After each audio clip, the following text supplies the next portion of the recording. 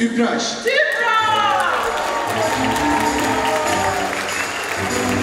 Çok güzel bir organizasyon. Bu sene e, katıldık biz ilk defa Tüpraş olarak. Bir şeylere uğraştık, heyecanlıydık e, ama hep destekleyici oldu Peryon ekibi.